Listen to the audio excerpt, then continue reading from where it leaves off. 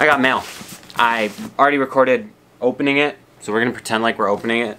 My address was showing, and y'all don't need to see that, so yeah. Oh, un, un, oh, unboxing. Got the knife and everything. So these are by a brand. This is gonna be chill, guys. Um, I'm really not gonna do any lighting or anything. I hope you guys enjoy this kind of video, kind of like a Just Talk Tuesday. And more tune for your head top, so watch how you speak on my name, you know? But if you don't know what Thursday Boots is, it is a company who makes high-end, or supposedly, I haven't felt a pair yet, high-end boots at a really fair price point. Um, I think the most expensive boot they have on their site is about $270. And if you know anything about boots, that is a mid-tier and or low-end boot price. A really high-quality boot um, usually runs you about 450 to $500. And we're going to see if Thursday lives up to the hype. Alright, so straight out the box, this is what you're going to see. You're going to see Thursday boots, nice and embossed in kind of a bronzy, a bronzy kind of vibe on foiling. The packaging here is so far so good. Um, I wish it was, a, I wish it was a pull-up lid. Personally, something that lifted up instead of out. But little things not going to complain. There is the packaging with it. There you go. I got a size 8. As you can see, I'm usually a 8.5 or a 9. But people said these ran big. So, yeah, let's get right into it. So, straight out the box, what you are going to get is a Thursday card. Now, this is a really cool kind of card. And on the back, it's even hand signed. Now that is attention to detail. You can see this is written in ink and you can tell it's real ink. You can smell it, first of all. You can tell it was handwritten. Thursday boot Thursday products are handcrafted in small batches using only the highest quality materials. Natural color and texture variation will occur. This is what makes the materials we use, the products, and the products we design both distinct and beautiful. So that will stay with the boots and we will hop right in. This is what the interior of the box looked like. Nothing special. Some black paper. I wish it said like Thursday boot, but they got to cut costs so they can give you that.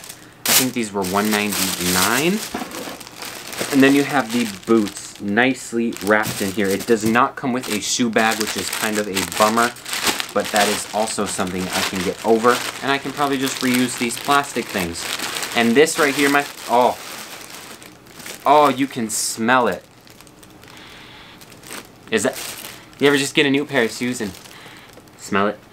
It smells so good. Real leather, real suede smells delicious. These are inky black. These are gorgeous. This is definitely a fashion-forward boot. Definitely something that is very avant-garde. Um, similar to the Chelsea boot, but different at the same time. We'll try to get some detailing there. We have a buckle here. This style of boot is what's known as the Jodhpur boot, and that means it does have a kind of a foldable interior with a strap that holds your foot in place. So definitely a little more trendy, a little more Western, a little more rock star than the Chelsea boot. Also, this one has a higher heel, which when you're 5'5", doesn't hurt. And also, ooh, you have a leather outsole with grippers there and Thursday boots in boss. Now just looking at them, I think these are going to fit nicely. Um, I'm really impressed with the shape of these mainly. These are very reminiscent of SLP, Saint Laurent Paris, um, and honestly, look-wise, a good alternative. Um, I just decided to do a little unboxing, so I'm kind of going off the dome here. Uh, but quality feels nice. Suede is buttery. They almost have a little tarnishing to them. Not a bad tarnishing, but if you look right on the heel, right here, you see how there is a different color there. It's almost like it, it has been a little pre-tarnished, which isn't a bad thing because I think this black boot, this is going to be my beater boot, this is going to be my throw and go boot um, this winter because it is waterproof. Excuse the ISO real quick as it adjusts itself. Um, and wow, they smell like real leather.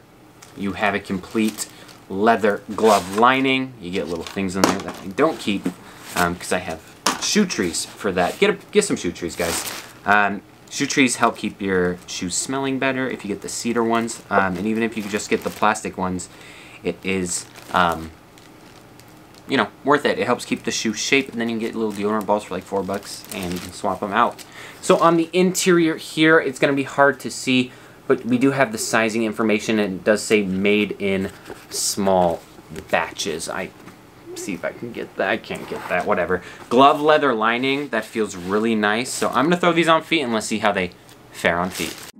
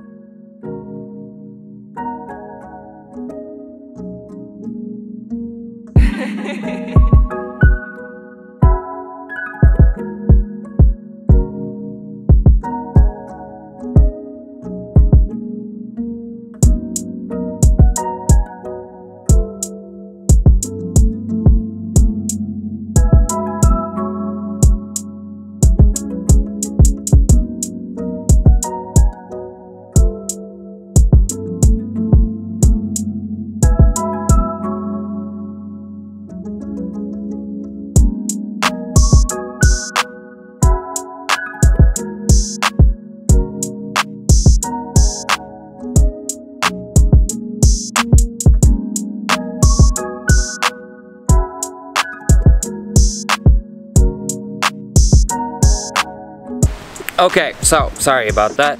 Right off the bat, what I can tell from these is that they are comfortable. I mean, that is what I'm getting is, oh, sorry about that wind. Um, what I'm getting from these is a really, really good comfort level um, right away, and they're not even broken in yet, which is always a either really good thing or a really bad thing that can definitely go either way, whichever way you want to look at it. I think you could, you know, splice it up. They're going to get less comfortable. They're going to get more comfortable.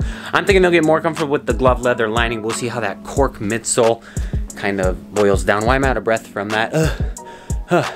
It's fall out here. I'm really excited to wear these boots, guys. I will say, couple cons right off get right off the bat, the gate, right out the gate, right off the bat, is they're challenging to get on. They do take a little more time to get on versus a Chelsea where you can just kind of throw and go. Um, these definitely take a little more time to get on, but personally, I don't think that's really a big deal. Um, and another thing is my heel is slipping a little bit, and these are a size 8. So definitely go down a full size from your normal shoe size if you are planning on copying a pair of Thursday Jodhpur boots. And yeah, I think that's going to do it for this video. I'm really happy with my purchase. They're kind of avant-garde for my style, but I'm trying to push my boundaries. They look clean with, you know, a pair of dress pants, but they can also work with jeans like you guys saw. Thanks so much for watching, guys. I'll see you in the next one. Subscribe, like, all that. Thanks for enjoying this casual video. Peace.